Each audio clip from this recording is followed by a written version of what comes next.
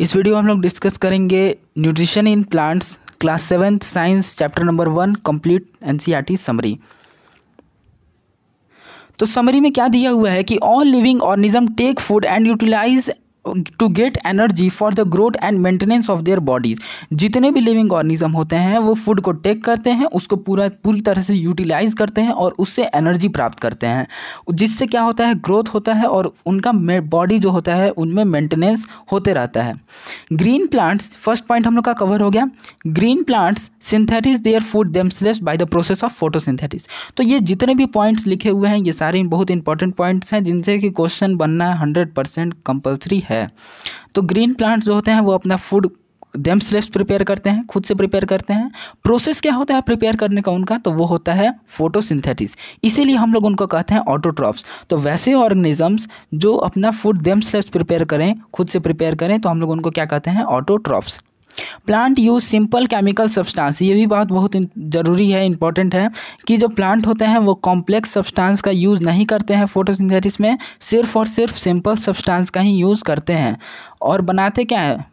Complex बनाते हैं। लेते हैं सिंपल और बनाते क्या हैं? कॉम्प्लेक्स तो सिंपल केमिकल सब्सटेंस का यूज़ करते हैं, जैसे कि कार्बन डाइऑक्साइड वाटर और मिनरल तो ये एग्ज़ाम में क्वेश्चन पूछा जा सकता है कि प्लांट्स यूज़ डैश सब्सटेंस तो सिंपल केमिकल सब्सटेंस और क्या क्या यूज़ करते हैं फोटोसिंथेटिस में? तो कार्बन डाइऑक्साइड वाटर ये सब चीज़ यूज़ करते हैं. Chlorophyll and sunlight are essential requirement for photosynthesis दो चीज़ जो है वो बहुत इंपॉर्टेंट है। क्या क्या है? तो वो है क्लोरोफिल और दूसरा है सनलाइट अगर ये दोनों बहुत इंपॉर्टेंट मायने रखता है फोटोसिंथेसिस के लिए। Complex chemical substance as carbohydrate are the product of the photosynthesis जैसे कि जब प्लांट्स जब फोटोसिंथेसिस करते हैं तो करने के लिए इनको सिंपल केमिकल सब्सटेंस ये लेते हैं।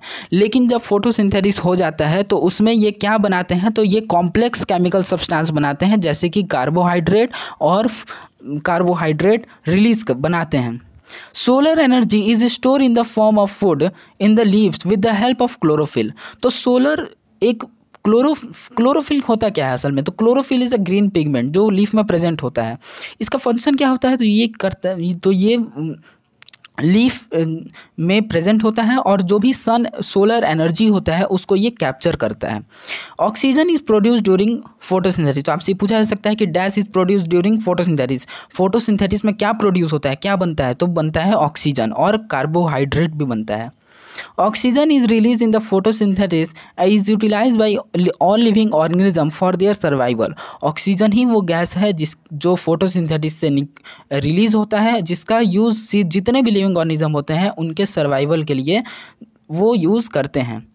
Fungi fungi derive nutrition from the dead and decaying matter जितने भी फंगी होते हैं, ये डेड और डिकेइंग मैटर से अपना न्यूट्रिशन डिराइव करते हैं।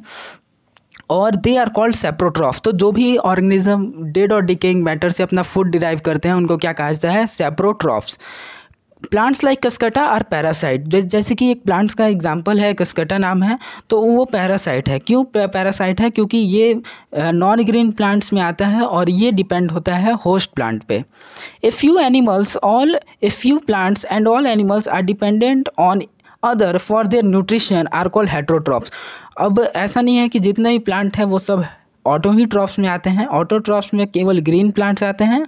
तो इसीलिए यहाँ पे लिखा हुआ है फ्यू प्लांट्स कुछ प्लांट्स और जितने भी एनिमल होते हैं वो सब। ये किस पे डिपेंड होते हैं? ये डिपेंड होते हैं किसी अदर ऑर्गेनिज्म पर। इसीलिए इनको कहा जाता है हेट्रोट्रॉप्स तो यहाँ पर हम लोग का एन समरी जो है वो वो ख़त्म हुआ। Thank you.